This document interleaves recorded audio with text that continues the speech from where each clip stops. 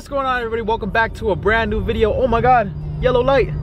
We made it. Guys, what is good? Happy New Year's, everyone. The day that I'm filming this is literally the first day of the year, so I hope everybody is starting the year off nice. We're starting the year off fresh. Today, I'm running everything solo dolo, so you guys are with me today. The main goal of today's video is to figure out what is wrong with my two front wheels for my Lexus LS430. So if you guys didn't know, yes, they have been leaking, and they've been leaking for the past few months, I think. About 20 PSI every single week, so I would constantly have to fill it up, and with stretch tires, tires like that, you really wanna minimize any leakage because you definitely don't want to debead when you're driving. Since my air suspension is getting put on soon, I figured it would be a good idea to make sure that everything is set before we throw these wheels back on because I've been on the stockies for a minute. So we're gonna go pick up my wheels real quick and then we're gonna go drop it off. I'm currently at 87,000 miles on this and this is a 2005 Lexus LS430. Uh, uh, yeah, I'm kind of tired of that. I can't wait to be on air. Quick little story about this air suspension. So it's been coming in certain batches. So we had the management come in with one batch.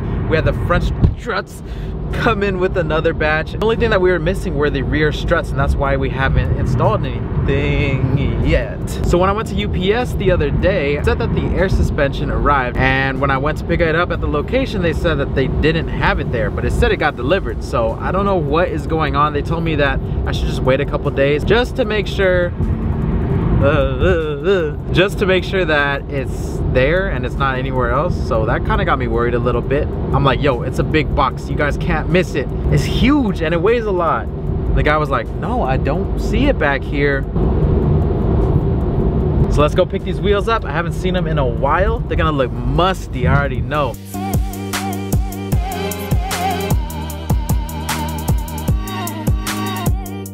Whenever I work on my car, I love to keep like you know, extra rags and stuff like that in the back. If you're putting wheels and tires in the back seat, you don't want to mess up your seats, right? I gotta spread all this out, make sure everything looks nice so I don't ruin the beautiful interior. Look at this thing. Freaking 15 years old and it still looks brand new. We're all padded up and good to go. I think that's about as good as it's going to get, to be honest. Here goes the first one. Sheesh, it's been a minute since I've seen this thing. This is the culprit right here, man. So I'm not sure if it's the stem. I don't know, it could be the hardware, it could be the tire. I'm not too sure about this one. And the other one's leaking at the same pace, so both of them are having issues. Super dirty, super faded looking. I will get them polished and they'll look super nice, but we need to fix that leak. But before we do that, I'm gonna make sure I fill it with some air because it's been a minute since I filled these up. And I mean, they haven't debeaded or anything, but I might as well just fill it up so the guy's able to see if any air comes out. Max PSI for these tires is 50, so I'm gonna guess that these things must be like at 10. So, what are you guys guessing? Let's see. Bro, look. You guys see that? I'm gonna load it up to like 40 or 45. If you guys are wondering where to get this, shout out to Costco. Survival kit. The subwoofer in this LS430 blew a while back and I forgot to mention it to you guys. I think I told Instagram.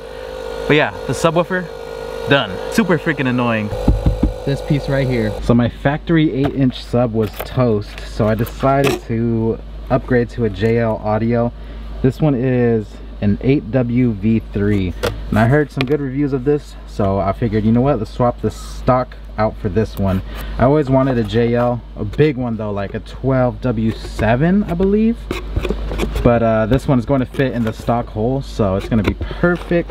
This one's a shallow sub, so it shouldn't hit crazy, but it should be a big improvement from what we have right now because honestly it's super hard to listen to music with that sub just flapping around so this will be going in there very soon. We're on the way to the wheel shop right now but if you guys are wondering what we're doing with the coilovers on this ls i'm going to be selling it. So if you guys are interested or you know somebody that may be interested tell them to dm me on instagram. I'm not looking for much. Honestly i'm trying to get like 350 out of them the only thing is that the rear passenger side is stuck. So that came like that from the factory brand new came stuck. Um, i took it to a few mechanics and they believe that the threading is messed up on it or something. So if you guys want it and maybe you could fix it and flip it be my guest. Or if you just want it to ride on then just order another one I guess. I don't know but I'm selling it for jug. I think I put maybe less than like 2,000 miles on it. They got installed not too long ago. So yeah, they're fairly new, but anyways, if you guys are interested in that, you know where to hit me up, baby. I think once we get the bags on here with the wheel setup, this thing is going to look mighty fine. I mean, you guys already know your boy's been into the VIP builds. It all started off with my Lexus IS250. If you guys remember that, comment down below. That car was crazy. I learned so many lessons with that car. Whenever people ask me what shop I take my cars to, honestly, bro, I just look at Yelp, Yelp it, make sure the reviews are good, and give them a shot. If you guys like them, then you like them. If not, then keep it moving. This is Barry. Hi, I'm at the back door right now, dropping off the two wheels. Give me a minute, I'll be right there. All right, sounds good. Thanks. Good to go. About to drop these off. Big wheels, that's where we're at. Tires have been dropped off, so that is done for the day. And I'm not sure if it's just me, guys, but this weather has had me feeling crazy sleepy lately. so I think I'm about to go take a nap. I'm gonna link up with you guys tomorrow to get a quick update on that air suspension. So see you guys tomorrow. Good morning, everyone. Just woke up. Still have the Christmas tree up in the house. But let's go ahead and see what's good with that UPS package. Hopefully it's there. I'm praying. I need y'all to pray for me, please.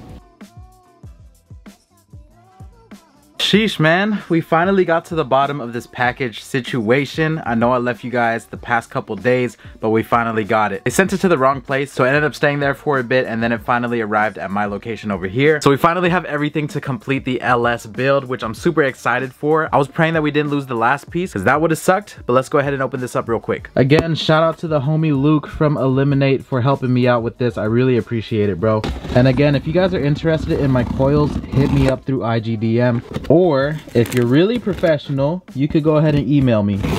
Woo! I am so excited. Here we go, LS430 kit, rear application, exactly what we've been waiting for. Literally this shipment came in different pieces, so we had the management come in, we had the tank come in, we had the front struts, all that stuff, and now we have the final piece to the puzzle. Oh yeah, these things are nice, man. This is my first time on airlift. For the other air setup that I went on, it was D2, and I gotta say, man, if you ever plan on doing anything air, you gotta do it right the first time. Get quality parts and make sure you get it installed by the right places. If you skip out on the quality parts, you are going to run into issues that are gonna cost you way more in the future, and that's what I've learned, man. From now on, quality systems only. I haven't had any issues with my Tesla, and I'm pretty sure I'm not gonna have any issues with this. A lot of my friends are running airlift, and they've only had great experiences with it, but of course, if I run into any issues, I'll let you guys know as soon as possible. Anyways, y'all, that's going to conclude this video. I know it was quick, I know it was random, but I wanted to keep you guys updated with the LS430 because a lot of you guys have been asking about this build and what's going on, so now all of you guys know. I'll see y'all very soon for the next video, which should be the install and maybe the reveal. So sit tight, guys. I'll see you guys very soon. It's your boy Sneakerhead in the Bay. I'm out. Peace. Blueberry, Burberry, button Tan skin, mixed race, buttercup. Canada weather, got a bundle up. I'm tryna work, she hit my phone, she wanna. Whoa.